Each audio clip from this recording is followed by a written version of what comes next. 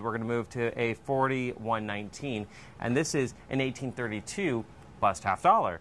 And this is NGC graded AU53. Very nice example, and you know a very nice opportunity to own a high grade certified example of the bust half. So tell me a little bit about this one. Oh, and by the way, the price you know the price of the Eliasberg at 27,500. This is is a steal, $699. So. Uh, Tell me a little bit about this. Well, this is uh, the poor man's Eliasberg 67. this is the kind of coin I'd probably buy myself. It's circulated. Uh, it's uh, of the same design, same style, mm-hmm. hand struck. It's just circulated. It's almost uncirculated. Mm-hmm. So it's relatively high grade. Yep. Yet it's your you know your twenty seven thousand dollars cheaper. So it's kind of uh, it's you know you're watching you're watching this program. You're looking at all these rare coins. This is one of the most affordable of the night. It's one of the easiest entry points into um, rarer and earlier numismatics. Right. And AU53 is not something to uh, stick your nose up. I mean, this is a perfectly fine coin. I mean, very nice.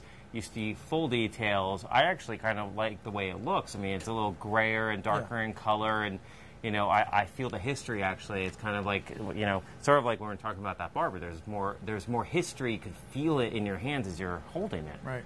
Yeah. All these early American issues are uh, uh, treasures, American treasures. They're relics mm-hmm.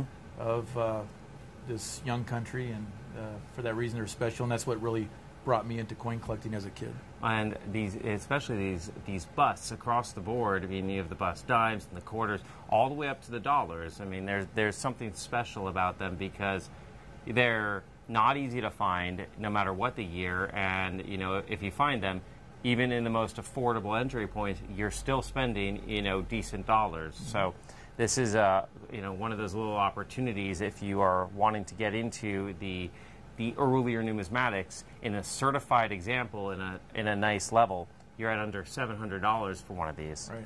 That that's a this is a great deal, and obviously, if you are interested in this, and I, I don't fail to mention this enough, if you are interested in other grades of 1832 in higher grade, that, that is definitely something we can help you with. You can just ask on our order form, and you can also call in, and you can put um, order this online as well. We have higher grades and lower grades available that we can help you with.